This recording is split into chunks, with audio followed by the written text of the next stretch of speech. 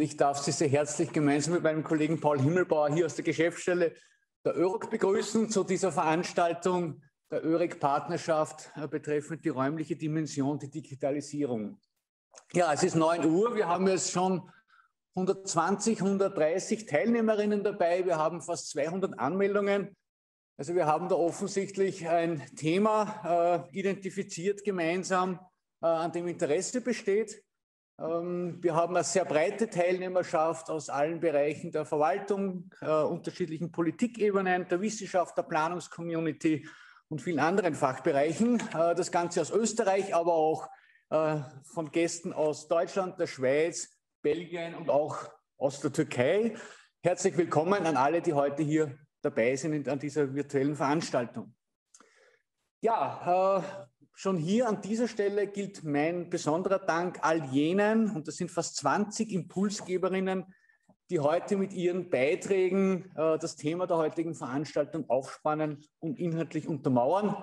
Danke, dass Sie sich bereit erklärt haben, hier heute aktiv dabei zu sein.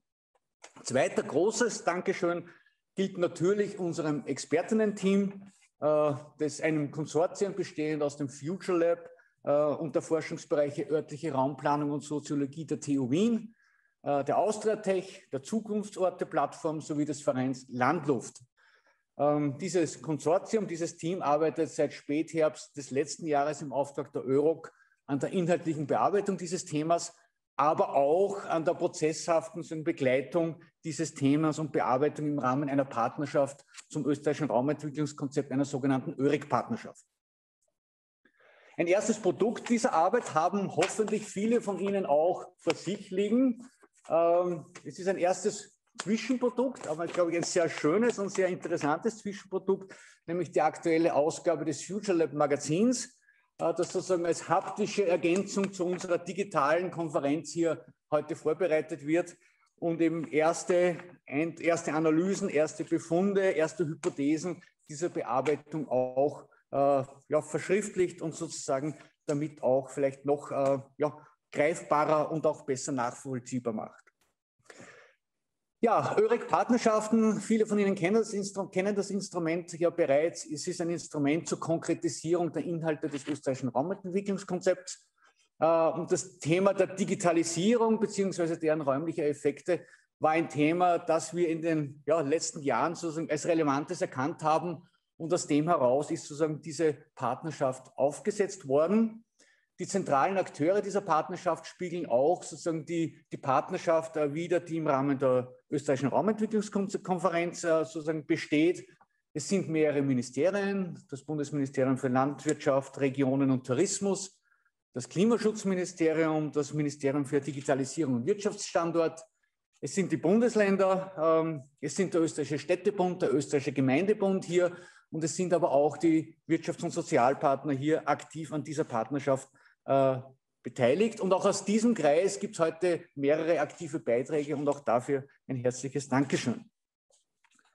Ein explizites Ziel auch des Bearbeitungskonzepts war es und ist es natürlich auch, äh, die Diskussion hin zur Fachcommunity und zur interessierten Öffentlichkeit hin zu öffnen und das probieren wir und versuchen wir eben unter anderem auch mit der heutigen Veranstaltung, aber unter anderem auch äh, mit diesem Magazin und auch anderen Elementen, die wahrscheinlich auch noch folgen werden.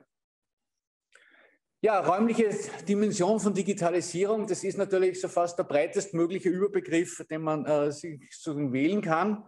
Wir haben uns aber sehr bewusst dazu entschieden, weil wir sozusagen äh, gesehen haben, dass hier einfach noch sehr grundlegender auch Aufarbeitungs- und Diskussionsbedarf besteht. Und daher ist eben in dieser ersten Phase der Bearbeitung tatsächlich sozusagen das, die gesamte Breite des Themas äh, in unserer Aufmerksamkeit. Und darauf aufbauend wollen wir dann gemeinsam mit unserem Bearbeitungsteam ab, Team ab Herbst dann eine Fokussierung zu ausgewählten Fragestellungen äh, vornehmen. Im Kern dieser Bearbeitung steht natürlich die Frage und damit auch der heutigen Veranstaltung, welche Steuerungsmöglichkeiten äh, die Raumordnung, die Raumentwicklungspolitik in Fragen der Digitalisierung und deren räumlicher Dimension äh, tatsächlich hat. Äh, die Fragen, die sich daraus ableiten und stellen, sind natürlich zahlreich. Sie kennen viele davon. Äh, unter anderem die Frage natürlich, welchen direkten und indirekten Einfluss hat die Digitalisierung zum Beispiel auf die Entwicklung der Orts- und Stadtkerne, auf den Onlinehandel, auf den Einzelhandel, welche neuen Wohn- und Arbeitsformen werden damit verbunden sein, was heißt Digitalisierung für unsere Versorgung, für das Thema, den Themenbereich der Logistik, für den Bereich der Daseinsvorsorge, sowohl im Bereich der Infrastruktur, aber auch der entsprechenden Dienstleistungen. Mobilität, Tourismus und man könnte die Liste natürlich auch noch fortsetzen. Die Frage, die uns natürlich auch interessiert, was bedeuten diese Digitalisierungseffekte räumlich für eher städtisch geprägte oder eher ländlich äh, geprägte Gebiete? Äh, welche Rolle kommt dabei auch dem Ausbau der digitalen Infrastruktur, auch in welcher Form letztlich bei? Ähm, und auch natürlich die Frage und insbesondere auch im Kontext der österreichischen Raumordnungskonferenz, die Frage, was könnte das und was wird das auch äh, für mögliche räumliche Disparitäten bedeuten? Wird es hier zu einer Vergrößerung kommen oder gelingt es mit Digitalisierung äh, und mit intelligenter Nutzung von Digitalisierung vielleicht auch zu einem Abbau von regionalen Disparitäten beizutragen? Und last but not least ist natürlich eine Fragestellung, auf die wir auch schon in der Diskussion gestoßen sind, die Frage, inwieweit sozusagen unsere bewährten Grundsätze, Ziele, Planungsprinzipien der Raumplanung, der Stadtentwicklungspolitik vor diesem Hintergrund, vor diesen Entwicklungen auch weiterhin Gültigkeit haben oder ob es hier vielleicht Instrumente, äh, Nachschärfung bei Instrumenten, Planungsprozessen oder auch beim Umgang mit bestimmten Fragestellungen braucht. Die Diskussion zu all diesen Fragen führen wir natürlich auch vor dem Hintergrund unserer aller Erfahrungen mit der aktuellen Covid-19-Pandemie. Äh, wir haben alle festgestellt, dass das letzte Jahr zu einer dramatischen Beschleunigung und Verstärkung von Digitalisierungsprozessen in unserem unmittelbaren Umfeld beigetragen hat. Und das hat natürlich auch einen unmittelbaren Ausfluss oder Einfluss sozusagen auf die Diskussion und auch vielleicht darauf, was wir uns vorstellen können, was sozusagen Digitalisierung letztlich für uns, für unseren Fachbereich auch bedeuten könnte. Die Herausforderung für unsere Arbeit im Rahmen dieser Partnerschaft und damit aber auch für die heutige Veranstaltung ist es natürlich, auch die richtige Maßstabsebene zu finden, die richtige Flughöhe zu identifizieren und damit sozusagen auch die für uns relevanten äh, Fragestellungen möglichst präzise herauszuarbeiten. Und unsere Hoffnung, unser Ansatz ist es, dass diese heutige Veranstaltung uns dazu eine wesentliche Grundlage bieten wird und insofern freuen wir uns auf einen sehr aktiven, interaktiven Austausch mit Ihnen allen. Wir hoffen, von Ihren Erfahrungen profitieren zu können. Und in diesem Sinne darf ich Sie alle nochmal sehr herzlich begrüßen zu diesem heutigen Vormittag. Und ich wünsche uns allen eine wirklich äh, aufschlussreiche, interessante Diskussion und darf damit weitergeben an den Moderator des heutigen Vormittags, Professor Rudolf Scheubens. Rudi, wo immer du jetzt gerade sitzt, welchen, hinter welchem Fenster du dich da verbirgst, ich übergebe es an dich. Dankeschön. Ich möchte Sie ganz herzlich begrüßen. Es ist wirklich eine sehr illustre Runde, die wir heute zusammenbekommen haben. Wenn ich, ich habe gerade mal ganz kurz durch den Bildschirm ein bisschen geswitcht. Man sieht bekannte und noch nicht bekannte Gesichter. Ähm, man sieht Kolleginnen aus Verwaltung, äh, Hochschulen, Politik. Begrüße ganz besonders, weil ich es gerade sehe, auch die Bürgermeisterin aus Karlsruhe Großglockner. Wunderbarer Urlaubsort, an dem ich da gute Erinnerungen habe. Man sieht, dass wir ein sehr breites Spektrum haben, auch an Teilnehmerinnen. Genau das macht es letztlich aus dass diese Fachkonferenz nicht nur eine kleine Community anspricht, sondern wirklich eine breite Gruppe von Kolleginnen und Kollegen aus allen Bereichen anspricht, die sich mit den Herausforderungen der Digitalisierung doch sehr intensiv auseinandersetzen.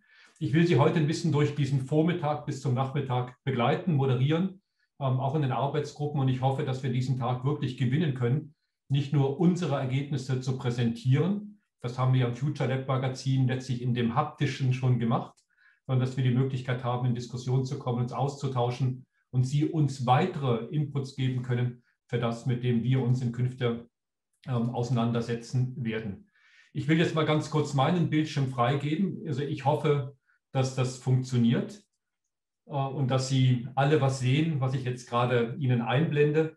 Es ist ein kleiner Einstieg in das Thema und die Vorstellung des Programms. Vorweg, Sie haben das gemerkt ganz zu Beginn, das ist jetzt in der Regie was anderes vorgesehen dass die Keynote wird aufgezeichnet und auch der erste Teil schon wird aufgezeichnet. Wer das nicht möchte, der sollte bitte seine Kamera ausschalten, ähm, seinen Namen löschen oder einen fiktiven Namen eingeben. Das ist uns egal. Aber schon, uns wäre wichtig, eben dieses aufzuzeichnen und es nachher auch die Keynote entsprechend öffentlich zugänglich zu machen.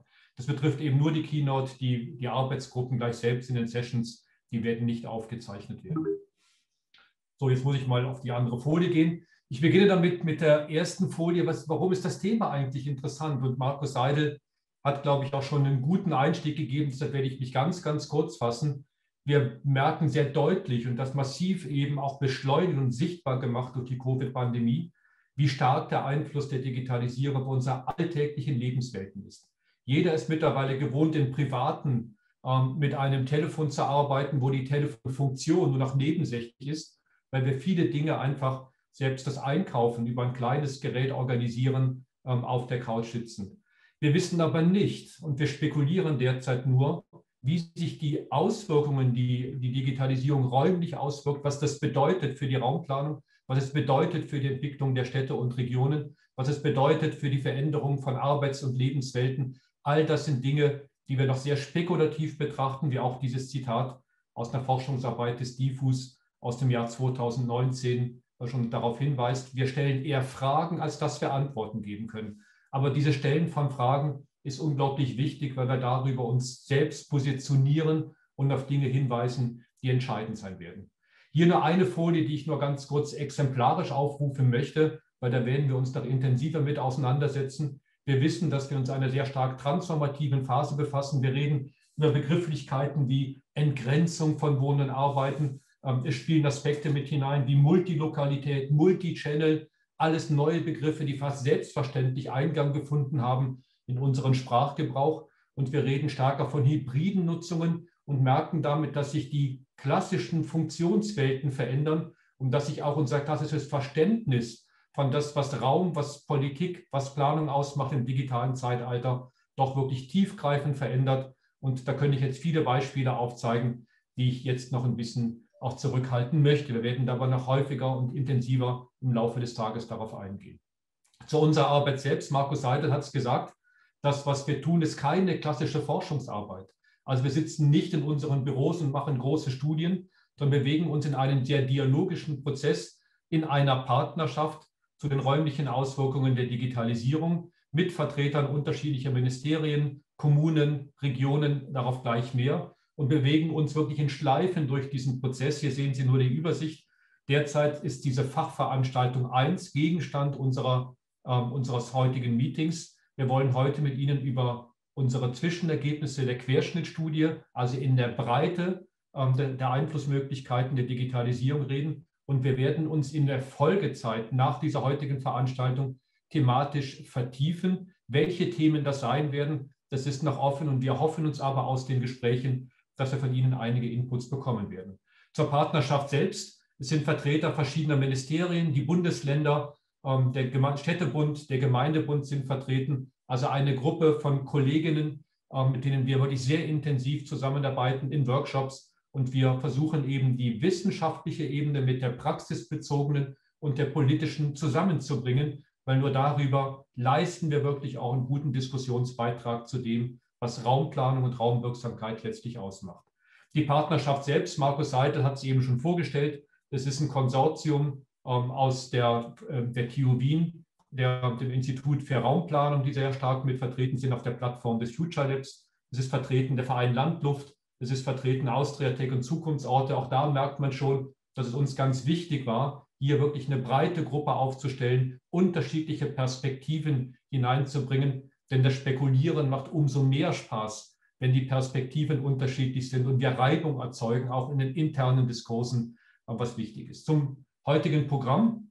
Es ist ein sehr ehrgeiziges Programm, ein sehr dichtes Programm und ich hoffe sehr, dass ich die Zeit, dass wir die Zeiten einhalten können. Ähm, vor einer Minute hat Herr Dirk Engelke schon begonnen mit seinem Vortrag, also wir hängen schon in der Zeit. Also ich würde trotzdem Ihnen das Programm ganz kurz vorstellen. Beginnen wir gleich Dirk Engelke, den ich gleich noch vorstellen werde mit einer Keynote. Anschließend wird äh, meine Kollegin Emilia Bruck ähm, einen Überblick geben über das, was wir derzeit im Rahmen der Querschnittstudie diskutiert haben, erarbeitet haben. Ähm, und dann gehen wir hinein in Diskussionsrunden, die Breakout-Sessions. Sie haben freie Wahl. Also wir haben sie nicht verbindlich zugeordnet, wie das oft üblich ist in solchen Konferenzen, sondern Sie können Ihren Neigungen folgen, Ihren Interessen folgen. Loggen Sie sich ein für eine dieser fünf Arbeitsgruppen, die wir gebildet haben. Die werden alle mal interessant sein. Ähm, am liebsten würde man sicherlich an allen Gruppen teilnehmen. Sie müssen sich entscheiden, aber sie können auch wechseln. Also wer möchte und sagt, das ist langweilig, ich gehe in eine andere Gruppe hinein, der kann das tun. Also sie haben wirklich freie, freie Möglichkeiten, sich hier positionieren. Und es gibt dann einen Abschlussdialog, äh, nachdem wir auch Ergebnisse aus den Arbeitsgruppen nochmal vorgestellt haben. Einen Abschlussdialog, auch dazu werde ich gleich ein bisschen mehr sagen, wo wir uns nochmal Zeit nehmen, wirklich weiterzudenken, nicht nur über die räumlichen Wirkungen zu diskutieren, sondern hier geht es vor allen Dingen auch um die Instrumente und Prozesse im digitalen Zeitalter, wie sich diese möglicherweise auch verändern und worauf wir in der Raumplanung entsprechend Wert legen müssen.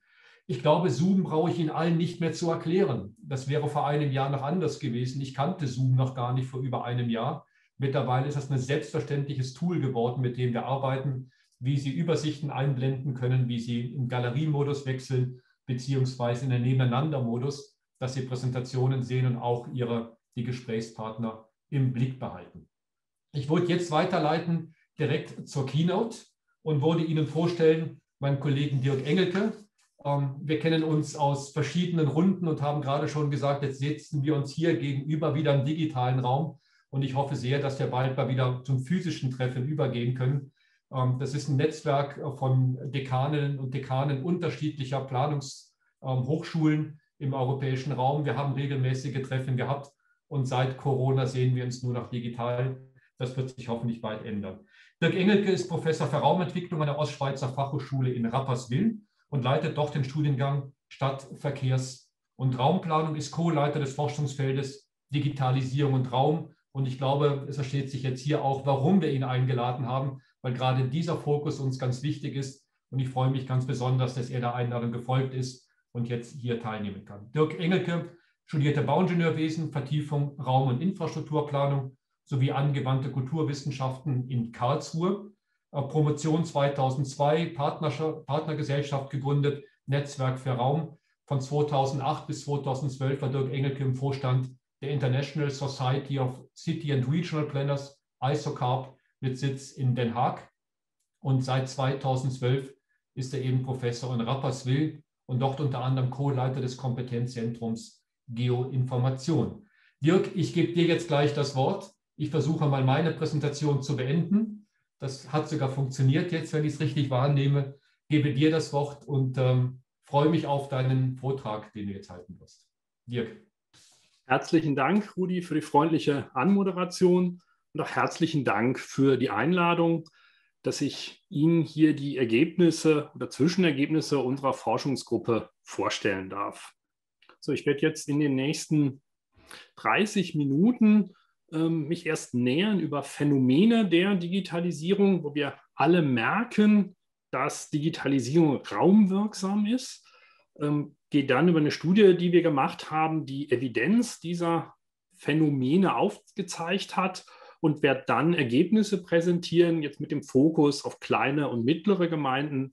Und ähm, das passt sehr gut zu einer der Folien, die wir eben gesehen haben, ähm, sowohl räumlich als auch thematisch und werde dann enden so zusammenfassend in, in drei Diskussionslinien, die aufzuzeigen, die dann vielleicht auch helfen, ähm, die weitere Diskussion zu strukturieren. So, wie sich das gehört, starte ich mit einer Begriffsklärung. Ich habe jetzt mal hier zwei ähm, Definitionen ähm, Ihnen mitgebracht. Das eine ist von Klaus Schwab, dem Gründer des World Economic Forum, der eher eine technische Definition von Digitalisierung ähm, beschreibt und das andere, ähm, es darum geht, dass Computer und diese Technik sind Voraussetzungen, aber es geht um das grundsätzliche Zusammenleben in der Gesellschaft. Und ich werde jetzt auf die zweite Definition setzen, also mich nicht auf das Technische beschränken, sondern genau dieses grundlegende Zusammenleben und eben die räumlichen Auswirkungen davon skizzieren. Wenn wir uns anschauen, wie dieses äh, Computer den Raum prägen oder Digitalisierung den Raum prägen, dann ähm, ist eins der Phänomene aus der Vor-Corona-Zeit, muss man sagen, ist sicher Dienste wie, wie Airbnb, die die planrechtliche Festsetzung, die wir getroffen haben. Das ist Wohnen, das ist Arbeiten, ähm, das ist Erholung.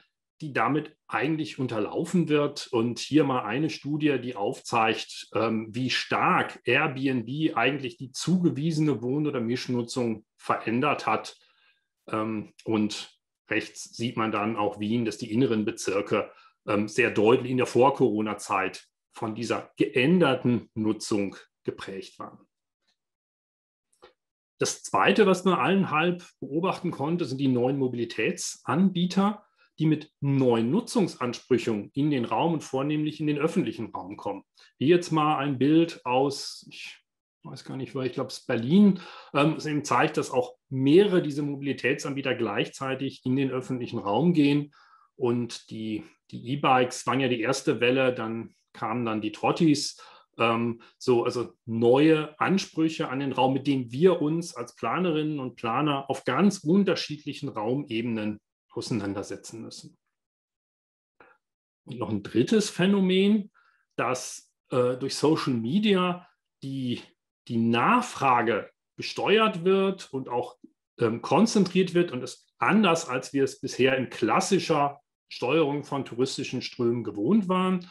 Hier jetzt mal ein Bild aus dem National Geographic, also von der Social Media rein in die Printwelt. Das ist das Gasthaus ähm, Escher, was eben in Instagram so gehypt wurde, dass letztendlich die Wirte gesagt haben, das ist nicht mehr eine Bergbeiz, das ist ein weltweiter touristischer Magnet und haben das Handtuch geschmissen.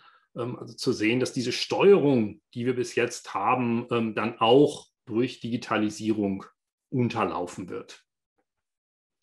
So, und dieser Transformationsprozess, wir haben es auch eben in, der, in den beiden einführenden Worten gehört, wir sind in einem Transformationsprozess aber es ist gar nicht der erste Transformationsprozess, den wir als moderne Gesellschaften durchmachen. Hier mal so die vier großen Transformationsschritte, die Industrialisierungsschritte ähm, aufgezeigt. So die industrielle Revolution, ähm, wo man dann mit der Dampfmaschine sich von den Flüssen und der Wasserkraft lösen konnte ähm, und dann eben auch raumwirksam diese, dieser Transformationsprozess gestartet ist. Dann kamen weitere wie Elektrifizierung, Massenproduktion, Automatisierung, Einzug von IT hinzu, ähm, jeweils mit ein paar Schweizer Beispielen hinterlegt und sind jetzt so in der Industrie 4.0 in der Digitalisierung. Ähm, und der große Unterschied ist, dass die ersten drei, die sind wie passiert und man hat dann im Nachhinein geguckt, was sind eigentlich die gesellschaftlichen, was sind die räumlichen Auswirkungen davon? Von der Industrialisierung, die kennen wir alle, die Siam-Gruppe mit der Charta von Athen und dieser Funktionstrennung, die sich schon in den letzten Jahren, ja eigentlich schon in den letzten Jahrzehnten aufgelöst hat, mehr zu einem Mixed Use und wo wir jetzt merken, durch Digitalisierung ähm, kriegt das nochmal einen ganz anderen Dreh, eben ähm, hybride Nutzung, wie es auch in der Einladung heißt. Und wir sind jetzt in einem Transformationsprozess, wo wir schon zu Beginn des Prozesses merken, da passiert eine tiefgreifende Änderung und wir können den Prozess reflektieren und vielleicht auch ein Stück weit steuern. Und genau darum geht es ja jetzt hier ähm, in der Partnerschaft zu sagen, wie kann man ihn denn räumlich steuern? Wir haben 2017 begonnen, die Forschungsgruppe ähm, aufzusetzen einen ähnlichen Prozess, wie der Rudi Scholbens es eben skizziert hat. Es ist kein Prozess, der rein aus einer wissenschaftlichen Brille kommt, sondern hier durch die zwei Farben verwoben aus Inputs von der Praxis, Reflexion von der Wissenschaft. Und jeder Kreis an sich ist eine Phase, aber äh, wie bei einem Kreis, der Halbkreis allein macht es eben nicht rund, sondern es ist immer dieses Dialogische. Und bei unserem Fokus ähm, war es wichtig, Digitalisierung nicht als Selbstzweck zu begreifen, sondern das Normative der Raumplanung mit reinzunehmen, den Kernauftrag, dass wir eine nachhaltige Landschafts- und Raumentwicklung durch unsere Steuerung zu sichern haben. Also dass wir Digitalisierung als Werkzeug für diesen Kernauftrag der nachhaltigen Raumentwicklung dann sehen. Wir sind damals 2017 mit diesem Forschungsprojekt gestartet und mittlerweile ähm, machen wir Forschung zu Gewerbegebieten. New Work ist ein ganz großes Thema oder Naherholung. Wie sind wir jetzt gestartet, um ausgehend von diesen Phänomenen zu sagen, welche Evidenz steckt denn dahinter? Sind das Einzelbeobachtungen oder kann man sagen, wie Digitalisierung den Raum prägt? Wir haben dazu eine Delphi-Umfrage gestartet, weil es 2017 ähm, wenig Literatur gab, keine Evidenz gab und ähm, uns war klar, wir können jetzt keine ähm, quantitative ähm, Evidenz nehmen für unsere Forschung, aber sind dann mit dem Delphi auch mit unserem dialogischen Ansatz dann wenigstens eine qualitative Bewertung reingegangen. 2017, 18, da waren sie in Wien mit dem Avenue 21 Projekt ähm, und haben unter dem Thema automatisiertem Fahren ähm, Digitalisierung und Raumentwicklung schon sehr früh anfangen ähm, zu reflektieren. Ähm, in den USA war es der Kollege Nicolako von der University of Oregon, der mit dem Urbanism Next ähm, Ansatz Digitalisierung und Raumentwicklung untersucht hat. Oder wenn man nach Deutschland schaut, also einer der ersten, der Thorsten Wiechmann, der eine statistische Annäherung gemacht hat an Digitalisierung und auch schon sehr früh die Frage gestellt hat, was macht das eigentlich mit der räumlichen Disparität? Ähm, sein Titel war damals Smart Country regional gedacht. Das Spannende daran ist, dass diese drei ähm, frühen Forschungsvorhaben alle nicht über die klassische staatliche Forschungsförderung finanziert worden sind, sondern von Stiftungen, von privaten Unternehmen.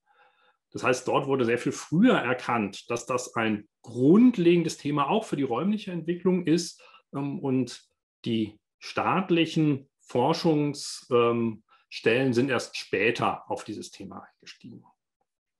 Wir hatten eben schon die Gelegenheit, sehr früh ähm, dort einzusteigen. Sie sehen rechts die, äh, die Methodik der Delphi mit den drei Phasen und wir haben es in drei Panels gemacht. Der Fokus Raumentwicklung, der Fokus äh, Verkehrsplanung und der, Thema, der Fokus Landschaftsentwicklung und haben neben den klassischen Panelgruppen von rund 30 Expertinnen und Experten dann auch die Fachverbände jeweils mit einbezogen, ähm, weil uns diese Evidenz von Expertinnen und Experten äh, nicht genügend erschien, sondern wir auch die breite Fachmeinung der Planerinnen und Planer aus der Verkehrsplanung, Raumplanung und Landschaftsarchitektur äh, mit reinnehmen wollen. Und was ich Ihnen jetzt mit vier Ergebnisse kurz vorstellen, äh, bezieht sich klar auf die Schweizer Sichtweise. Ich denke, vieles davon ist übertragbar. Man muss das im Hinterkopf haben, dass wir explizit nur die Schweizer Situation untersucht haben. Das erste ist die räumliche Dimension der Raumwirksamkeit, also die großräumige Raumstruktur.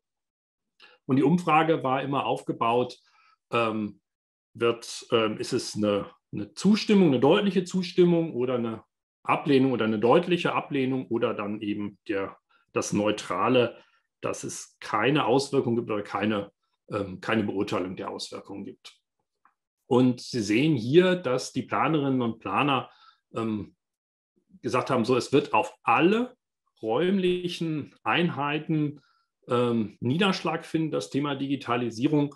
Beim ländlichen Raum war etwas mehr Unsicherheit zu spüren, was auch andere Studien bestätigen, dass die Risiken im ländlichen Raum höher sind als in den urbanen Gebieten oder den Agglomerationen. Wenn man mal im Maßstab weiter runtergeht und die kleinräumige Raumstruktur anguckt, hier jetzt mal exemplarisch die Frage, was verändert sich denn? Einmal das Thema Parkieren ähm, oder Parken, dass hier die Expertinnen und Experten ähm, sagen, ja, das Thema autonomes Fahren und autonomes Parkieren wird den Raum verändern, aber nicht nur das Bekannte des Parkierens, sondern auch neue Anforderungen kaum auf den öffentlichen Raum zu, ähm, so diese Taxi- oder Ein- und Ausstiegszonen. Und die werden ja vermutlich genau dort sein, vor den ähm, Eingängen in die Fußgängerzone, vor den großen Kinos, vor den großen Theatern, also alles, überall dort, wo wir heute kein Parken erlauben, ähm, wird zukünftig ein neuer Raumanspruch entstehen, mit dem wir als Planerinnen und Planer umgehen müssen. Dann die Bewertung des fließenden Verkehrs, wie der sich verändert, ist dann schon sehr ambivalent, ähm, sodass man da tiefer gucken muss, wer hat denn da was gesagt. Vielleicht noch ein kurzer Blick, nicht nur in den physischen Raum, sondern auch in die Konstruktion von Raum. Ähm, die Landschaftsarchitektur ähm, arbeitet ja eigentlich viel stärker als die Raumplanung mit, mit der Konstruktion von Raum. Und auch hier die Frage, wie sieht es denn aus mit Gegenentwürfen zu einer digitalisierten Welt? Ähm, und hier auch eine, eine Zustimmung zu sagen, ja, das wird ein Thema. Ob das jetzt gleich die Off-Räume sind oder ob es ein anderer ist, das steht dann auf einem anderen Blatt, aber es ist ein Thema, auch die, die Landschaft im Kopf wird sich verändern. Jetzt neben der räumlichen auch die zeitliche Dimension angucken, ähm, war hier eine Frage an die Expertinnen und Experten, wie sieht es denn mit der Serien- und Marktreife von den vollautomatisierten Fahrzeugen aus, also Level 5 in der Automatisierung, dass da die Einschätzung ist, dass das Thema Parkieren in den nächsten fünf Jahren Serien- und Marktreife erreicht. Damit ist jetzt weniger gemeint, dass ich noch im Auto sitze und nicht mehr kurbeln muss, sondern interessant wird es ja dann räumlich. Wenn ich aussteige, mich vom Auto entferne und das Auto selbstständig einparkt oder selbstständig in die Tiefgarage fährt, weil dann können wir auch zu anderen Dimensionen von, von Parkflächen kommen.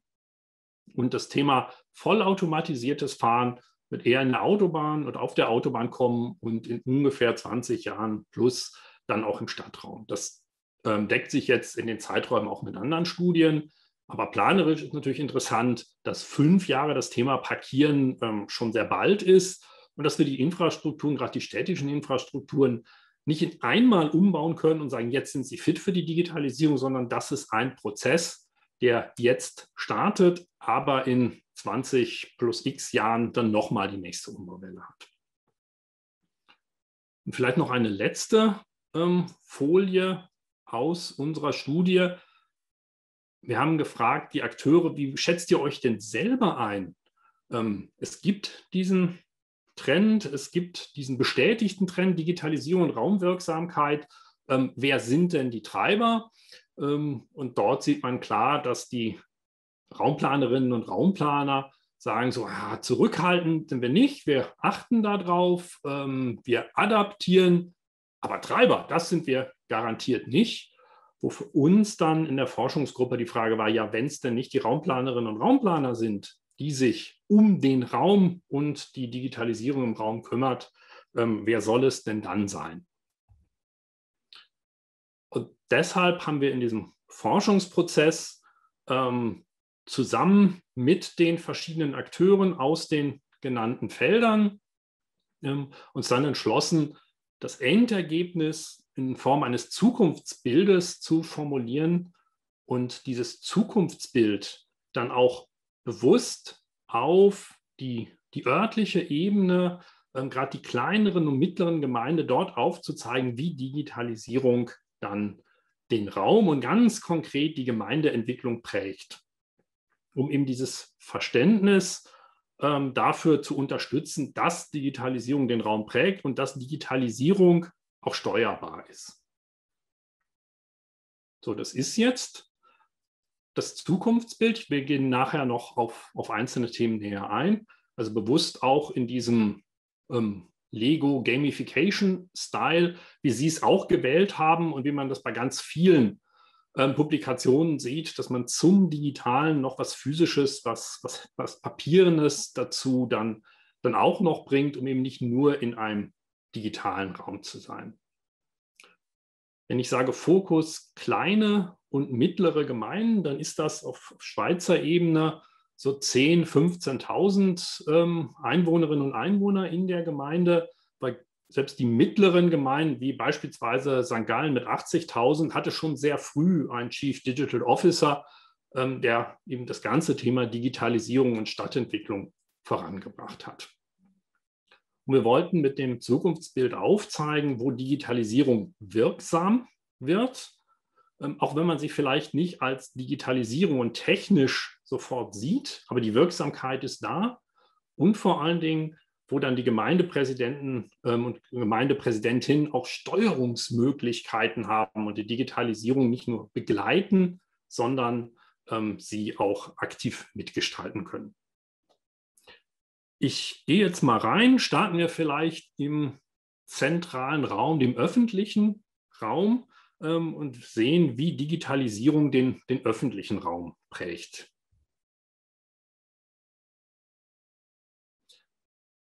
Wir haben dann kurz aufgezeigt, wie jetzt hier das Thema Aufenthaltsqualität im öffentlichen Raum mit den wandelnden Ansprüchen weiterentwickelt werden kann also es geht um eine Fokussierung des öffentlichen Raums, weil gerade der unter Druck gerät. Das sind nicht nur die neuen Mobilitätsformen, ähm, das sind auch andere Nutzungen, die in den öffentlichen Reihen kommen.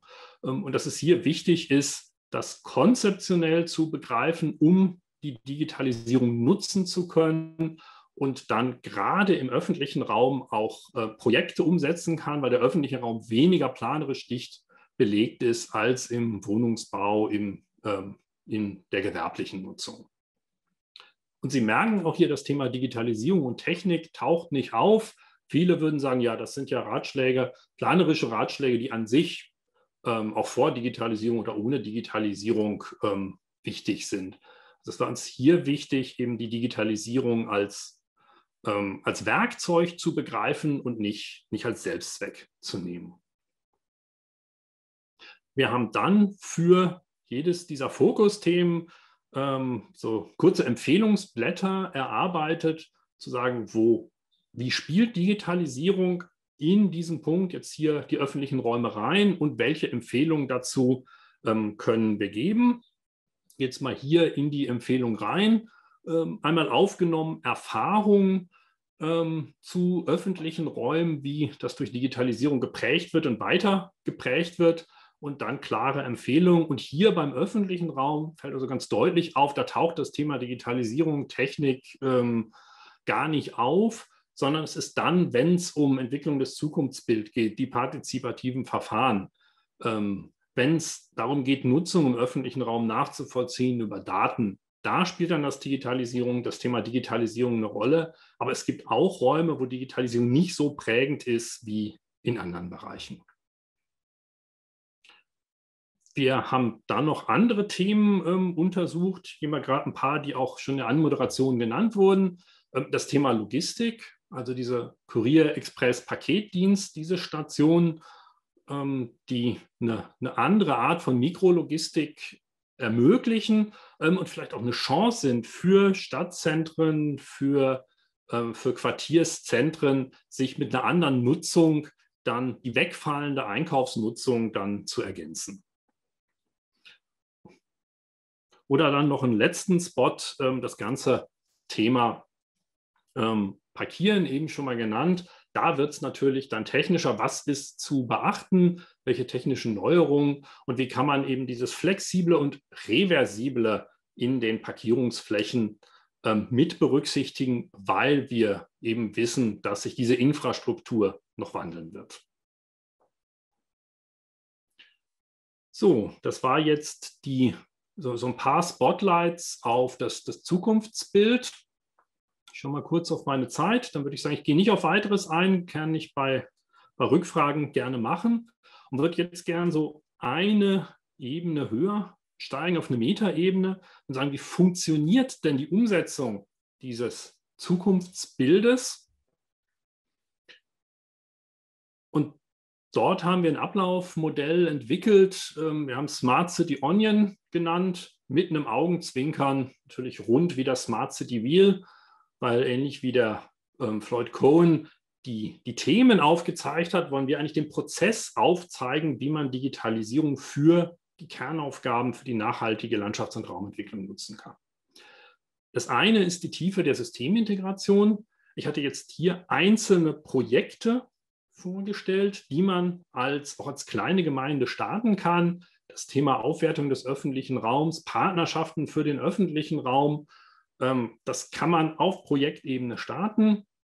Ähm, beispielsweise hat die Stadt Rapperswil schon sehr früh experimentiert, auch zusammen mit der Hochschule, hat die Mülleimer mit Sensoren ausgestattet, ähm, um einfach mal Erfahrungen zu sammeln ähm, von technischer Umsetzung bis Datenschutz ähm, und hat einen Großteil der Sensoren wieder abgebaut, ähm, weil sie ja das Wissen ist jetzt äh, nicht unbedingt handlungsleitend. Dort, wo sie nach wie vor im Betrieb sind, ist in Außenbereichen, weil dort kann man zusammen mit dem Füllstand der Mülleimer und dem Wetterbericht sehr gut über Littering auch jenseits des Mülleimers ähm, Aussagen treffen.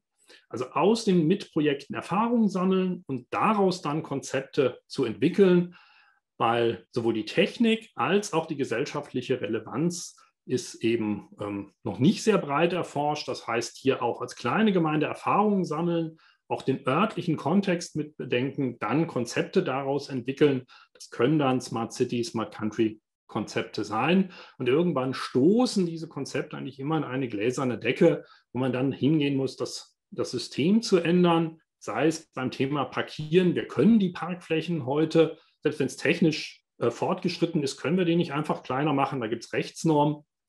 Ähm, das heißt, in ganz vielen Bereichen, auch in öffentlichen Räumen, wenn ich jetzt nur die beiden Beispiele nehme, müssen wir an die Rechtsnormen ran. Aber in einem föderalen System können ja Gemeinden, Bundesländer, Kantone genau auf diese Grenzen auch, auch einwirken ähm, und dort einen Systemwechsel oder eine Systemanpassung erlangen. Das eine ist dann die, die Systemintegration. Die, die zweite Frage sind dann die Frage der Steuerung und der Eingriffsebenen. Nicht so den oberen Thema ist Raum und Mensch. Das ist klassische Raumplanung, ähm, dass wir durch den Menschen, Nutzung durch den Menschen, dass wir das dem Raum zuordnen. Wohnzonen, Arbeitszonen ähm, sind so ganz klassisch planerische Zuordnungen. Das ist nicht neu.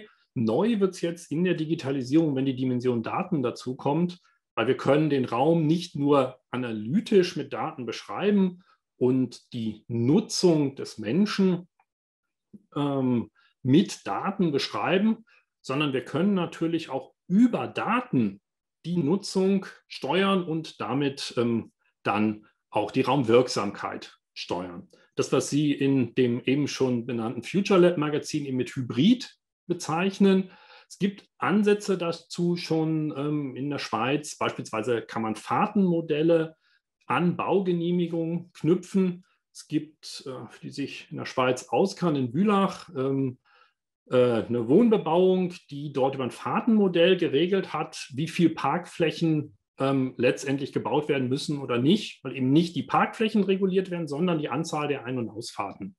Ähm, in einem großen Shoppingcenter in Zürich ist das ähnlich weil die Ein- und Ausfahrten das sind, was die räumliche Wirkung ausmacht und nicht, wie viele Stellplätze dann letztendlich in der Tiefgarage sind.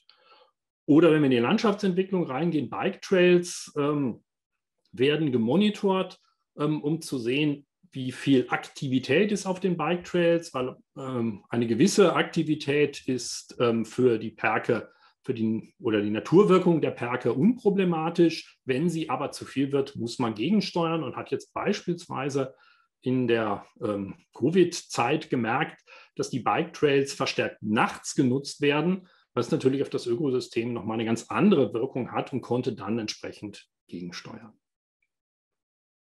Also hier nochmal zusammengefasst die Smart City Onion. Ähm, es geht um die Systemintegration anfangen mit kleinen Projekten über Konzepte das System ändern. Und nicht meinen, wir würden das System schon kennen und könnten es von oben ähm, über Änderung des Systems ändern ähm, und bewusst die Dimension Daten äh, mit einbeziehen, um die räumliche Entwicklung zu steuern, weil wir damit auch als Raumplanerinnen und Raumplaner neue Steuerungsmechanismen haben und nicht immer nur nachsteuern, sondern dann eben über die Auswirkungen steuern können. So, hier nochmal das Zukunftsbild. Es ging also darum, Digitalisierung ähm, nicht nur als Treiber der räumlichen Entwicklung aufzuzeigen, sondern ähm, auch aufzuzeigen, wie man Digitalisierung zum Treiben in Richtung Nachhaltigkeit nutzen kann, gerade für kleinere und mittlere Gemeinden. Ich möchte jetzt schließen mit der Zusammenfassung und drei Diskussionslinien aufzeigen, die ähm, aus meiner Sicht oder aus unserer Sicht in der Forschungsgruppe ähm, die entscheidende Linien sind, wenn wir über Digitalisierung und Raum sprechen. Das eine ist die Raumwirksamkeit der geänderten Nutzungsansprüche. Ich habe es am Anfang mit den Phänomenen und mit der Delphi-Studie ähm, versucht aufzuzeigen, dass wir als Planerinnen und Planer die Raumwirksamkeit deutlich breiter betrachten müssen ähm, als wir es bis anhin in klassischen Planungsverfahren gemacht haben ähm, und dort auch wesentlich früher in die Analyse rein müssen. Ähm, das ganze Thema New Work ist eins, wo wir jetzt so die ernsten Phänomene merken. Ähm, wir merken hier, dass das große Headquarters ihre Büros umbauen ähm, und so über den Daumen nur 70 Prozent der Arbeitsplätze nach Covid wieder zur Verfügung stellen. Es gibt aber auch einzelne Unternehmen, die sagen Homeoffice forever. Ähm, das hat was mit dem Gewerbe und Dienstleistungsflächenangebot zu tun. Das hat aber auch was mit Zentralitäten zu tun, mit Quartiersfunktionen. Das zweite ist die neuen Ansätze zur Steuerung der Raumnutzung auch aktiv zu nutzen. Und wenn wir das tun, dann ist das Thema Daten auf einmal ein raumplanerisches Thema, weil es kann verkürzt gesagt nicht sein, dass Daimler ähm, und Google darüber streiten, wer die Daten zu, die, die Verkehrsdaten zukünftig ähm, in der Hoheit hat. Und wir als Raumplanerinnen und Raumplaner immer noch Zählschleifen in den Straßen ver verbuddeln müssen. Wir brauchen die nicht in Echtzeit, wir brauchen die nicht tagesaktuell, aber auch wir müssen uns als Planerinnen und Planer in Erfüllung unserer ähm, öffentlichen Aufgabe, müssen wir uns um das Thema Daten bemühen. Und eine letzte Diskussionslinie, die ich jetzt nicht eingegangen bin, die aber ähm, definitiv nicht unwichtig ist, die Frage der raumbezogenen Aushandlungsprozesse. Das, was man Beteiligungsprozesse oder hin zu Co-Design-Ansätzen, Geodesign-Ansätzen dass auch hier neue Möglichkeiten warten und neue Anforderungen warten. Wir haben das in der Schweiz gemerkt mit der direkten Demokratie und in vielen ähm, Ortsverfassungen festgelegt, die physischen Gemeindeversammlungen, die über Planung abstimmen mussten. Ähm, und dass man komplexe Planung bis jetzt der, der Meinung war, das kann man nicht über Papier, übers Internet rüberbringen. Ähm, aber es jetzt musste über diese lange Zeit und dort eigentlich viele von Startups, von ähm, innovativen Gemeinden sehr innovative Formate gefunden haben, auch komplexe Planungsprozesse nicht nur zu erläutern, sondern eben auch dialogischer zu gestalten, ähm, um hier eben auch die Chancen der Digitalisierung aufzugreifen. Damit wäre ich am Ende von meinem Input. Danke Ihnen recht herzlich für Ihre Aufmerksamkeit und das Zukunftsbild und weitere Informationen finden Sie auch auf unserem Blog, Blog raumdigital.ch und können mich auch gerne bei Fragen kontaktieren. Mail und Telefon ähm, sind eingeblendet. Herzlichen Dank. Du hast Bezug genommen auf das Thema dieser automatisierten Systeme im Mobilitätsbereich, also in Fahrzeugen, die das Parken besser machen. Die positive Nachricht ist, wir können die Stellplätze wesentlich effizienter organisieren, können flächensparender bauen. Die negative Nachricht ist, dass das Parken, das Lästige am in die Stadt fahren, Parkplatz suchen, plötzlich entfällt und unsere komfortgetriebene Welt führt möglicherweise dazu, dass man erst recht in die Stadt fährt, weil das Auto sich selbst seinen Parkplatz sucht. Also die Nebenwirkungen, die Effekte, die damit verbunden sind, sind so tiefgreifend. Man kann es in beide Richtungen diskutieren. Und die Frage ist jetzt, wie beeinflussen wir die Entwicklung? Wie steuern wir diese Entwicklung? Und das ist ja eine Kernfrage der Raumplanung. Ich habe einen Hinweis bekommen von, von Martin Berthold, der verweist eben auch darauf, auf den Arbeitskreis Digitale Transformation der SRL. Die sagen, die Raumplanung sind an sich jene, die Digitalisierungsbeauftragte werden müssten in den Städten, weil diese ferne Zukunft plötzlich unglaublich nah ist. Äh, Themen, ähm, die du angesprochen hast, wie gehe ich mit Daten um? Wie kann ich evidenzbasierte Planung betreiben? Äh, wo steuere ich Entwicklungen auch gegen? Welche Rolle spielt der physische Raum? All das sind Dinge, die mehr oder minder mit der digitalen Welt in Verbindung stehen. Eine Frage hätte ich aber an dich noch. Du hast zu Beginn gesagt, in eurer Studie ähm, kommt heraus, dass die Risiken in ländlichen Räumen größer sind. Kannst du da noch kurz ein paar Sätze zu sagen? Wie definieren sich diese Risiken der Digitalisierung unterschiedlichen ländlichen Räumen zu städtischen Räumen? In wenigen Sätzen, wenn das. Mhm. Ja. Vielleicht ganz kurz vorher zum Thema ähm, automatisiertes Parken das passiert ja in zwei Schritten. Das eine ist, dass es recht früh kommt und dann fahren wir wahrscheinlich noch selber dahin und dann ist genau dieser Komfort da. Mhm. In 20 Jahren, wenn die Autos selber fahren, müssen wir Parken regionalisiert haben, weil sonst entscheiden die Autos, wo geparkt wird und nicht äh, wir Planer oder das öffentliche Interesse entscheidet dann. Also mhm. da müssen wir dann auch in diesen Systemwechsel rein. Und jetzt zum ländlichen Raum wir hatten ähm, nur die, eigentlich die, die Raumwirksamkeit abgefragt ähm, und dort kam eben diese leichte Ambivalenz für den ländlichen Raum raus. Es gibt aber ähm, Studien vom, vom SECO, ähm, die für, den Länd für die Politik des ländlichen Raums zuständig sind und die haben in ihrer Studie das näher beleuchtet, was das Risiko ist. Ähm, und das Risiko ist, wenn man es kurz zusammenfasst, ähm, die Systeme werden sich in Städten, in Agglomerationen ähm, wirtschaftlich selber tragen, im ländlichen Raum nicht. Und das macht letztendlich das Risiko aus. es gibt ja noch eine andere Frage, die vielleicht auch bei euch eine Rolle gespielt hat. Wir haben immer die Erfahrung gemacht, dass gerade immer die, die Auswirkungen der Digitalisierung sehr breit gelegt sind, ähm, sehr tiefgreifend sind. Uns wirklich, also du hast eben zum Schluss davon gesprochen, wir müssen das System ändern. Aber das System ändert sich ja so, so gravierend. Unsere Instrumente sind nicht darauf ausgerichtet. Und unser Eindruck war, dass gerade in ländlichen Räumen, regionalen Räumen diese Tiefe der Transformation auch noch nicht so bearbeitet werden kann, wie sie notwendig wäre. Also die Steuerungsebene, hat das bei euch eine Rolle gespielt? Also wie, haben wir die Kompetenzen, das zu tun? Oder müssten wir nicht ganz neue Kompetenzen mit hineinbringen?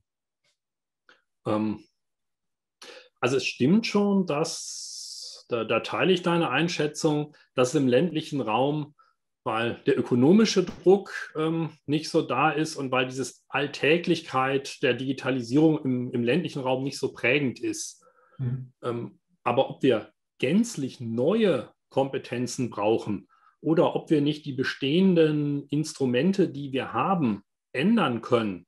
Ähm, also auf lange Sicht müssen wir von dieser Flächenwidmung oder Nutzungssteuerung der Flächenwidmung müssen wir weg oder zumindest ganz klare Ergänzungen haben, ähm, weil das wird auf Dauer nicht, nicht tragen. Diese hybride Nutzung, ähm, dieses Verfließen von Wohnen und Arbeiten, das merken wir ja gerade selber, ähm, das wird je länger, je mehr nicht funktionieren. Also da brauchen wir eine Erweiterung ähm, dessen. Und da müssen wir anfangen, weil die, die ersten Fahrtenmodelle in der Schweiz wurden dann von den Gerichten auch wieder kassiert. Ähm, die neueren Fahrtenmodelle werden ähm, werden anerkannt. Es gibt auch im Gewerbebau ähm, in, in Zug, beim Technologieclusterzug, die einen Bebauungsplan haben, der Rechtssicherheit und Flexibilität für die nächsten Jahrzehnte bietet. Also der Bauetappen hat und festlegt, was in diesen Bauetappen an Nachweisen kommen kann ähm, und das Maximale gar nicht ausschöpfbar ist, aber die Betreiber, und das ist natürlich wichtig, dass Industriegebiete oder Gewerbegebiete auch gemanagt werden. Also wir müssen stärker in das Management des Raums rein. Dann kann man auch Instrumente, auch bestehende Instrumente in zeitlichen Staffelungen ähm, umbauen. Ich beginne mal mit der Frage von Christian Rosenwirt, ähm, der fragt, wie die Erfahrungen einzelner Gemeinden im Zukunftsbild an andere Gemeinden disseminiert werden. Oder wie sieht dieses Netzwerkbild? kannst du da kurz was zu sagen? Welche Rolle spielt ihr da oder wie, wie sieht die Zusammenarbeit letztlich aus? Wir arbeiten momentan in der ersten Phase mit den Gemeinden ähm, bei uns ne, in, in, der Lind-Ebene zusammen, so als, als ersten Schritt. Ähm, es ist dort mehr umzusetzen. Also wir sind jetzt gerade dabei, das Zukunftsbild ist fertiggestellt und mit denen, die dabei waren, geht es jetzt in die Umsetzung und jetzt auch in die Breite und das wollen wir einfach räumlich auch, auch steuern. Erstmal das Nahe, ähm, auch ein Stück weit auf Zeit spielen, ähm, dass wenn dann wir wieder vor Ort mit den, mit den Akteuren vor Ort sprechen können, dann in die Breite zu gehen und das jetzt mhm. nicht ähm, über dieses technische Medium zu machen. Ja. Mhm. Okay, es gibt zwei Fragen, die ich ganz spannend finde. Eine von Melanie Dobernik-Lutz. Ähm, also was waren die zentralen Thesen betreffend Zentralitäten? Ich glaube, das ist, also wie ändern sich die? Mhm. in dem Zusammenhang eine Frage, die an mich adressiert war. Ähm, ist Engelke nicht der Meinung, dass die Digitalisierung eigentlich die Chance für den ländlichen Raum ist? Also ich hatte das eben dir bewusst gesagt, das, ist, das sind die Risiken am größten. Ein Kollege dreht das um, was ich spannend finde. Ist das nicht auch eine Chance, weil da kommt jetzt plötzlich die Planung hier ins Spiel? Also Frage Zentralitäten, Thesen und Chance ländlicher Raum. Ich kann Sie kurz was, kannst du kurz was dazu sagen, Dirk? Ähm, ja, ich kann nicht eindeutig sagen, ob es eine Chance ist oder ein Risiko für den ländlichen Raum. Äh, es gibt klare Chancen. Gerade das Thema ähm, New Work, nicht mehr alle kehren an den Arbeitsplatz zurück. Ist das Thema Coworking als neue Nutzung ähm, oder urbane Produktion oder dann ländliche oder urbane Produktion auch in, in kleineren Gemeinden ähm, kann eine große Chance sein. Ähm, muss man aber immer zusammen mit der Verkehrsentwicklung sehen, weil wenn dadurch die Verkehrsleistung ähm, steigt, weil wir täglich längere Wege zurücklegen, ähm, ist das vielleicht eine Chance für den ländlichen Raum, aber auf gesamter Ebene vielleicht auch nicht nachhaltig. Also da muss man sehr genau gucken, aber es gibt Chancen, keine Frage. Ähm, auch das soziale, der soziale Zusammenhalt, der ja im ländlichen Raum an sich stärker ist, aber auch vielleicht nicht immer so stark, wie man meinen mag, kann man eben mit digitalen Lösungen auch, unterstützen. Mhm. Wir haben in einer Arbeitsgruppe der Landesarbeitsgemeinschaft Baden-Württemberg, der Akademie für Raumforschung und Landesplanung, ähm, sind wir dem nachgegangen und haben dort die These aufgestellt, wir denken Infrastrukturen immer über das gesamte Land. Ähm, das geht von, von ÖV-Versorgung, ähm, Gesundheitsversorgung, ähm, Bildung.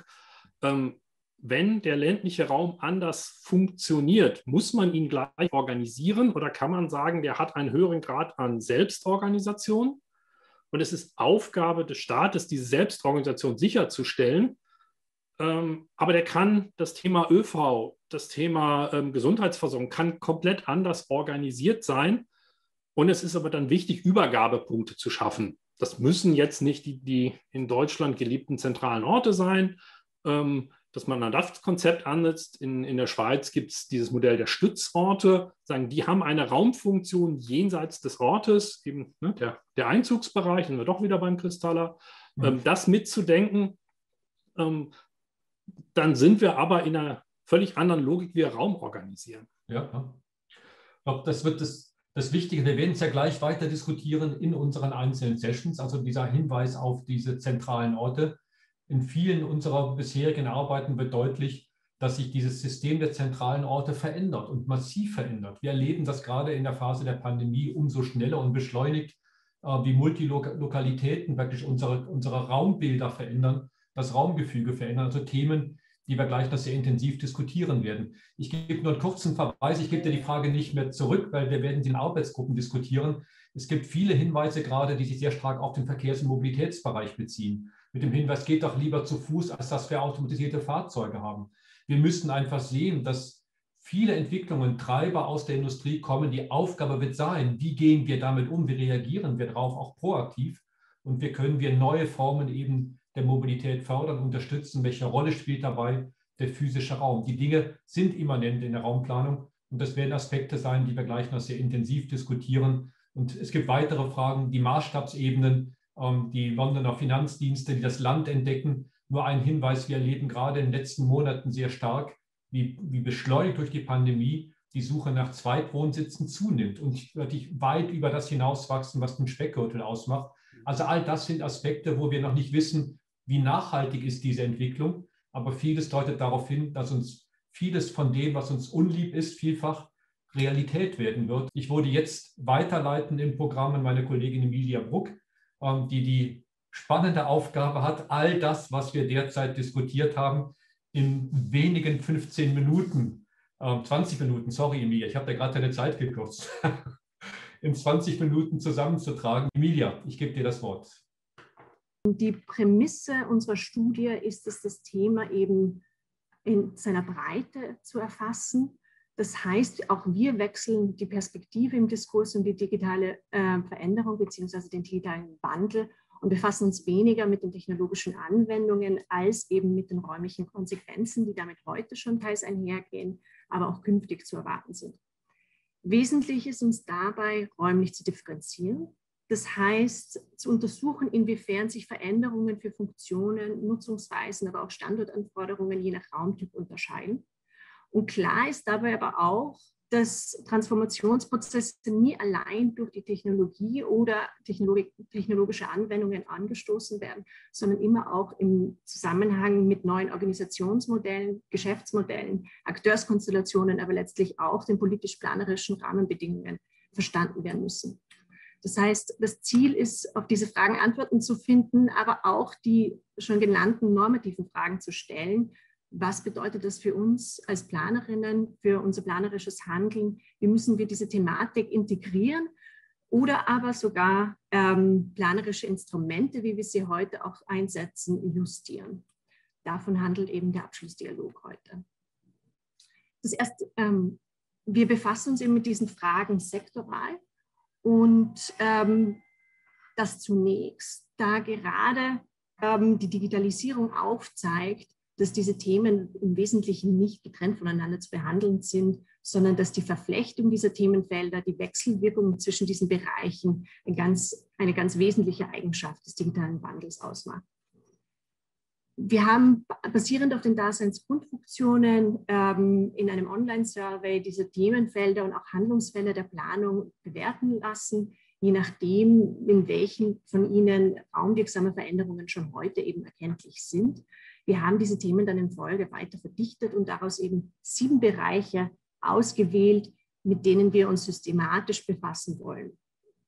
Ohne jetzt zu viel auch wiederholen zu wollen, das bereits schon genannt wurde, möchte ich diese eben präsentieren und immer wieder auch aufzeigen, was im Zusammenhang äh, mit, Ö äh, mit Entwicklungen in Österreich dahingehend ähm, bemerkenswert ist. Das erste Ta Themenfeld ist der Bereich der Arbeit, in dem die Digitalisierung einen Strukturwandel beschleunigt. Dieser drückt sich räumlich vor allem in einer neuen Ortsunabhängigkeit aus, die für bestimmte Berufsgruppen und ganz bestimmte Tätigkeiten möglich wird. Weiter wirkt sich auch die Digitalisierung auf die Standortanforderungen aus, wie wir auch alle im vergangenen Jahr erlebt haben, dass sowohl an, an den klassischen Arbeitsstätten bzw. Arbeitsstandorten als auch im Wohnumfeld die Anforderungen an räumliche Qualitäten steigt. Das betrifft beispielsweise die äh, Nutzungsmischung, äh, die Bereitstellung von unterschiedlichen Dienstleistungen. Das betrifft aber auch den Flächenbedarf.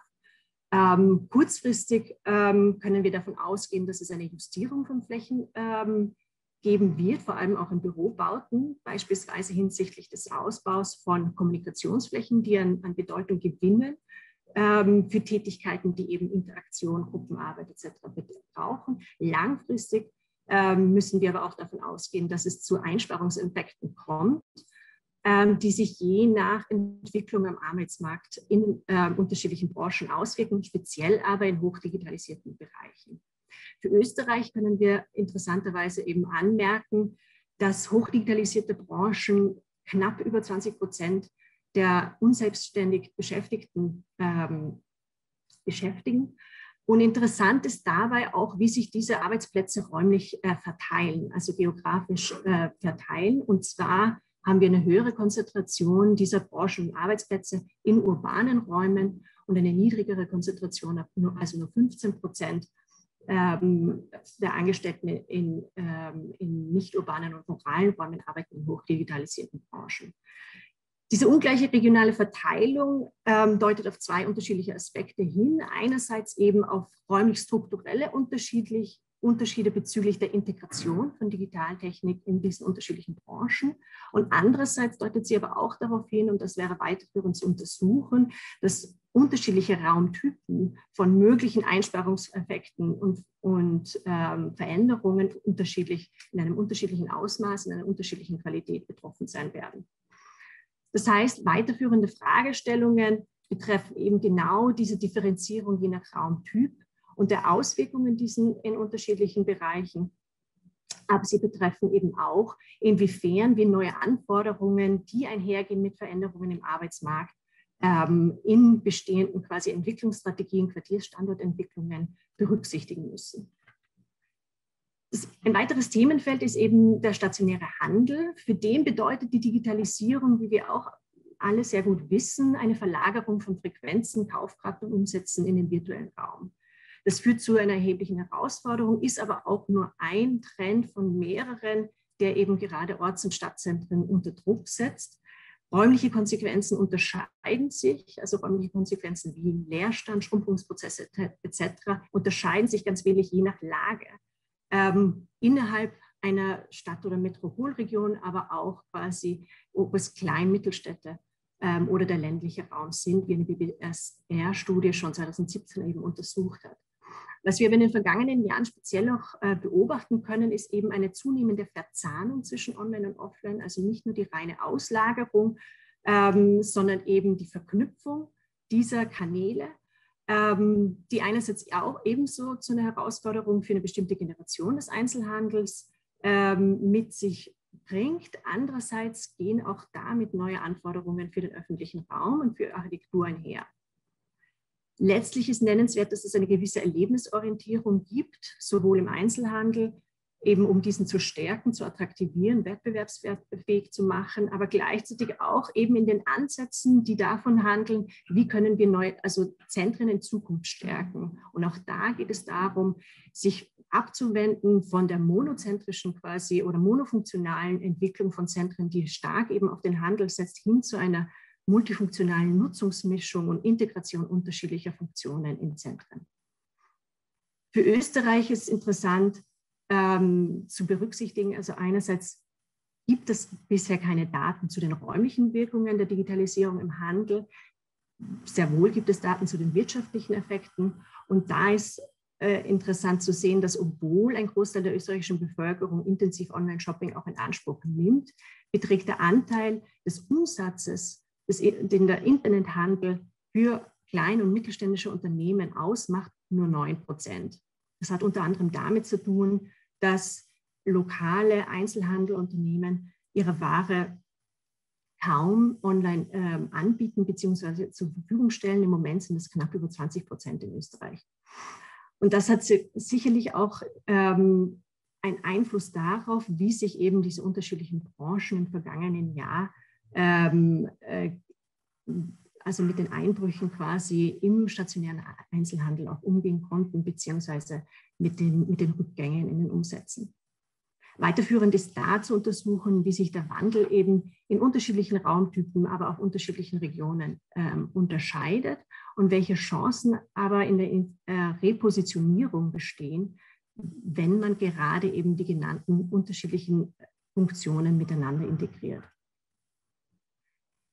In der Mobilität und der Logistik, es ist ja genannt worden, wir haben uns mit Avenue 21 sehr intensiv mit diesem Thema befasst, können wir davon ausgehen, dass Digitalisierung weniger zu, einer, zu einem Ersatz von bestehenden Modi führt, sondern zu einer erheblichen Vervielfältigung. Das betrifft einerseits ähm, den Wandel vom, Besitz, vom Besitzen hin zum Nutzen, das betrifft aber auch ähm, die Vervielfältigung von Lieferdiensten und genauso auch die Zukunftsperspektive ähm, des Wandels vom Fahren hin zum Gefahrenwerden. Es ist mit einem Bereich, der am stärksten ähm, sich räumlich auch manifestieren wird, wobei auch hier wichtig ist, eben zu differenzieren, weil Einsatzformen je nach Siedlungsstruktur, Mobilitätssystem und eben auch nach Nutzergruppe unterschied unterschiedlich sind bzw. variieren können. Und auch die räumlichen Wirkungen können äh, variieren, wie beispielsweise, wie auch schon eben genannt worden ist, ähm, eine, eine Veränderung der Nutzungsanforderungen betreffen, Veränderungen im Parkraum betreffen, Flächenreserven, die für neue Hub-Konzepte notwendig werden, aber auch langfristig ähm, beeinflussen können, dass die Standortwahl von Betrieben und Haushalten sich verändert und es möglicherweise zu einer weiteren Zersiedelung kommt. Für Österreich möchte ich eben zwei Entwicklungen aufgreifen, die spannend sind. Einerseits eben die vielen, vielen Initiativen, die im Bereich des Mikro-ÖVs, aber auch des Sharings ähm, lanciert werden. Ähm, interessant ist gerade dabei nicht nur, dass sie sich speziell im peripheren im regionalen Raum befinden, sondern dass auch gerade dieser Mikro-ÖV-Sektor einer ist, der ganz wenig bisher auf digitalen ähm, Applikationen beziehungsweise auf digitalen Tools basiert. Das heißt, hier ist ein massives Ausbaupotenzial zu sehen, nicht nur um die Nutzbarkeit dieser Angebote im Sinne auch einer Mobilitätswende zu erhöhen, sondern eben auch räumlich die Erreichbarkeiten zu steigern. Ein zweites Themenfeld, das interessant ist, ist die intensive Entwicklungsdynamik in den Paketmengen, die, die wir gerade auch in Wien verzeichnen können. Ähm, diese bedeutet nicht nur eine Veränderung eben für Kurier- und Paketdienste und den Lieferverkehr, sondern bedeutet auch eine Veränderung für die räumlichen Anforderungen, die eben neue Logistikkonzepte umfassen, dezentrale Hub-Konzepte, aber auch kleinräumige Abgabedepots und Paketstationen, die zu integrieren sind. Das heißt, hier geht es auch darum, weiterführend sich damit auseinanderzusetzen, wie diese räumlichen Nutzungsanforderungen sich unterscheiden, also in der Qualität und ihrem Ausmaß, aber gleichzeitig, welche räumlichen äh, regulativen Rahmenbedingungen brauchen wir, um die räumlichen Wirkungen in einem positiven Sinne zu steuern und zu lenken. Ein weiteres Thema ist das der sozialen Infrastruktur und auch hier bewirkt die Digitalisierung eine Flexibilisierung, Dezentralisierung und Individualisierung von Dienstleistungen und eine Verlagerung von eben dem Ort, wo Behandlung und Betreuung stattfindet, immer näher hin zum Nutzer, zur Nutzerin selbst. Gleichzeitig entstehen zum Beispiel, auf, äh, was die Nachbarschaft, die Gemeinschaft äh, anbelangt, neue Möglichkeiten für die Vernetzung und Teilhabe, ähm, da speziell im, äh, im, virtuellen Raum Barrieren abgebaut werden können, um Informationen äh, zugänglich zu machen. Andererseits ist auch wichtig zu betonen, dass gerade diese Netzwerke auch, oder auch Plattformen eine gewisse Bereitschaft für diese Art der Kommunikation und des Austausches voraussetzen und andererseits, dass der gebaute Raum nicht an Bedeutung verliert, sondern dass es vielmehr zu einer Entwicklung der Hybridität kommt. Das heißt, das Analoge und das Digitale ergänzen sich auch hier.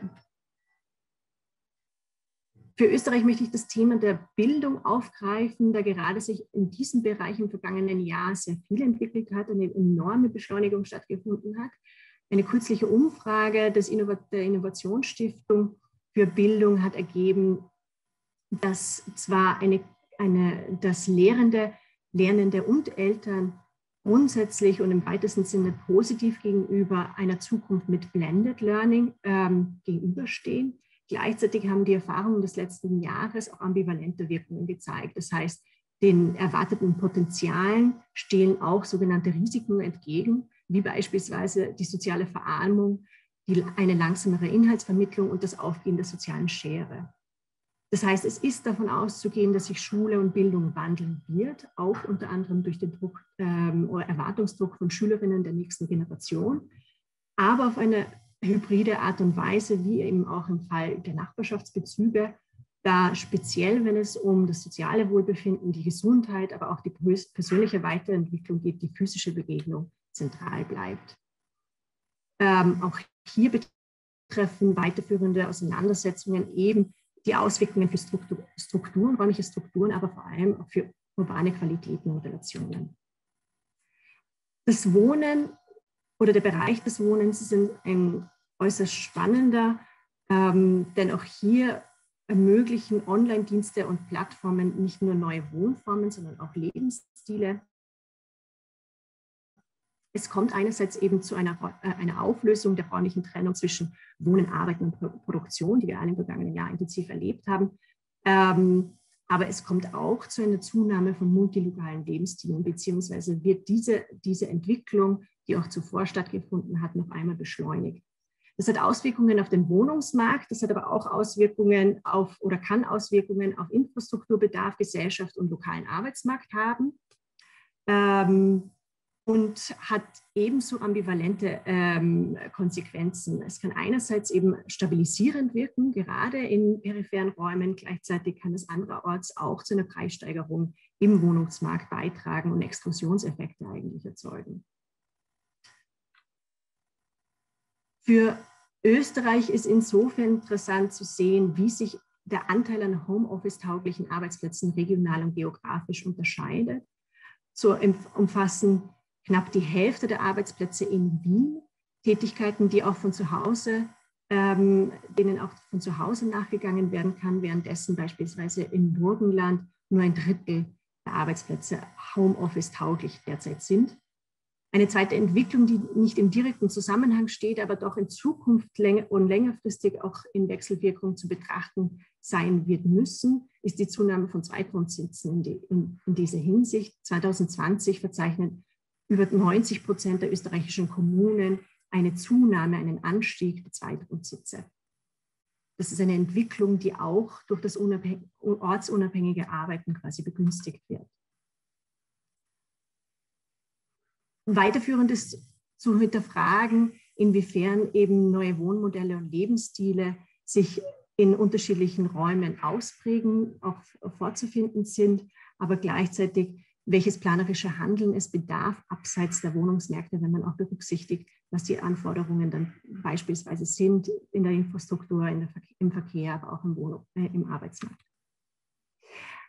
Eines der letzten Themen, das ich ganz kurz anschneiden möchte, ist das, dass die wesentliche Voraussetzung für viele dieser anderen Entwicklungen ähm, leistet, und zwar die digitale Infrastruktur und dessen Ausbau.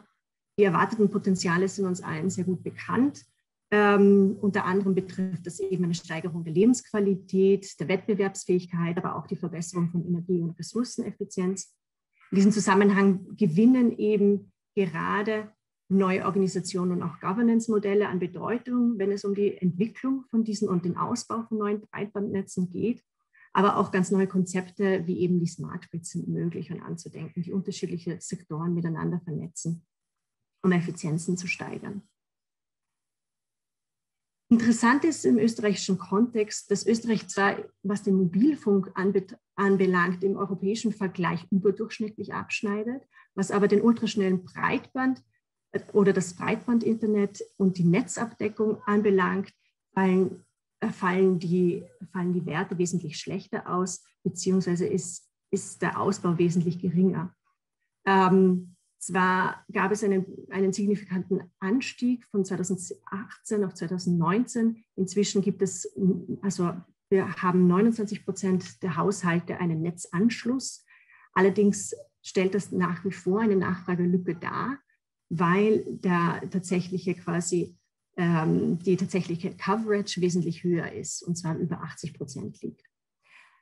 Genannte Ursachen sind vielfältige. Ähm, unter anderem betrifft das die topografischen Verhältnisse, aber auch die Besiedlungsstruktur in Österreich. Das betrifft aber auch die Zahlungsbereitschaft auf Seiten eben der Nutzerinnen und vor allem auch technologische Lock-in-Effekte. In weiter, weiteren Folge ist interessant in dem Zusammenhang zu untersuchen, welche Organisationsmodelle und Prozesse es eben bedarf, interkommunal und auf regionaler Ebene, um Ressourcen zu bündeln und diesen Ausbau zu fördern, aber gleichzeitig wie eben auch dieser Infrastrukturausbau in bestehende Entwicklungskonzepte integriert werden kann, mitgedacht werden kann, um an bestehende Ziele auch ähm, an bestehenden Zielen ausgerichtet zu werden. Das letzte Thema in aller Kürze, und auch dieses genannt worden ist, ist äh, der Tourismus, die Freizeit und die Kulturlandschaft, die wir in einem gefasst haben. Digitalisierung bewirkt hier eben eine Veränderung der räumlichen Wahrnehmung, eine Veränderung des touristischen Erlebnisses, aber auch der Bewegung im Raum. Wege und Ziele werden vermehrt quasi schon vorgegeben durch die Bewertung von anderen. Ähm, es entstehen aber auch hier Möglichkeiten, neue Organisationsmodelle zu schaffen, Organisationsmodelle, um lokale Ressourcen und Angeboten, Angebote mit Gästen zu verknüpfen und im positivsten Sinne einen Rücklauf lokal zu erzeugen. Das betrifft Mobilitätsangebote, die beispielsweise auch ähm, ähm, dann Vorteile generieren können, die in der lokalen Wirtschaft dann zum Einsatz kommen. Das betrifft aber auch regionale Nahrungsmittelproduktion und den Vertrieb dessen. Für Österreich möchte ich die genannte These von Professor Engelke kurz aufgreifen, und zwar, dass Social Media aber in meiner Ansicht auch Plattformökonomie im weiteren Sinne Steuerungsprozesse unterlaufen kann. Am Beispiel der, der Vermietungsplattform Airbnb sehen wir das, die in Wien über 8000 Wohnungen verwaltet. Und zwar mit dem Slogan, das Reisen wie Einheimischen, wie Einheimische zu ermöglichen oder das erlebbar zu machen wie Einheimische. Die Wirkungen, die Airbnb auf dem Wohnungsmarkt aber nach sich zieht, widersprechen genau diesem Anspruch, da die angebotenen Wohnungen zu einem gewissen Anteil eben dem Wohnungsmarkt für lokale Bevölkerung entzogen werden und sich innerstädtisch gleichzeitig in den innerstädtischen Bezirken konzentriert, was bedeutet, dass gerade die lokale Bevölkerung auf diesen Anteil der Wohnungen einen geringeren Zugriff hat und Gäste dann umso mehr ein Erlebnis haben wie Touristen und nicht wie Einheimische. Weiterführend ist da eben zu fragen, welche Chancen und Grenzen für diesen lokalen Rücklauf, den ich genannt habe, für den regionalen Rücklauf bestehen und wie diese auch gestärkt werden können. Ganz abschließend, weil eben die Frage der Instrumente und der planerischen quasi Ansätze heute noch ganz intensiv diskutiert wird, möchte ich nur die Herausforderungen nochmal subsumieren für die Raumentwicklung, die sich eben daraus ergeben, dass räumliche Funktionen zunehmend hybrid und zeitlich flexibel werden, Räumlich funktionale Bezüge verflüssigen sich aufgrund der Digitalisierung. Das Analoge wird mit dem Digitalen verknüpft und es bedarf zunehmend auch der Gestaltung von baulich-räumlichen Schnittstellen und nicht nur den digitalen und virtuellen Schnittstellen. Ähm, wir sehen, dass es zu Wohnort- und Standortdynamiken kommt und kommen kann, die zukünftig auch Konsequenzen für Siedlungsentwicklung, Wohnungsmärkte, aber auch den Infrastrukturbedarf nach sich ziehen können. Es wandeln sich, wie auch schon genannt worden sind, eben die Zentrenfunktionen, die ähm, einen Bedeutungsanstieg der Nutzungs Nutzungsmischung, aber auch der Aufenthaltsqualität äh, mit sich bringen. Und es vervielfältigen sich die Nutzungsanforderungen im öffentlichen Raum. All das sind Entwicklungen, mit denen wir uns in den nächsten Diskussionsrunden weiter auch intensiv befassen wollen und dann im Nachgang vor allem die Frage stellen wollen, wie ist darauf raumplanerisch zu reagieren, wie sind diese Gedanken, diese Entwicklungen auch in unser Handeln aufzunehmen. Vielen Dank für Ihre Aufmerksamkeit. Besten Dank, Emilia. Das ist wirklich eine Herausforderung, in dieser kurzen Zeit all die Dinge zusammenzubringen. Ähm, und natürlich bleiben, bleiben immer Fragen offen und das sieht man auch in der Chat-Funktion, aber das ist, liegt in der, in der Sache begründet letztlich. Wir werden uns mit den Dingen weiter auseinandersetzen jetzt. Und nur ein Aspekt, weil immer wieder die Frage auftaucht, also was sind, was sind denn die raumwirksamen Entwicklungen? Wir haben das versucht, jetzt in diesen kommenden fünf Sessions, Arbeitsgruppen vertiefend zu diskutieren. Ich kann nur aufrufen, das, was Emilia gerade sagt, im Bereich Zentren und Handel. Wir erleben doch schon seit Jahren nicht nur digitalisierungsbedingt, sondern strukturell bedingt, wie sich die Bedeutung der Zentren verändert.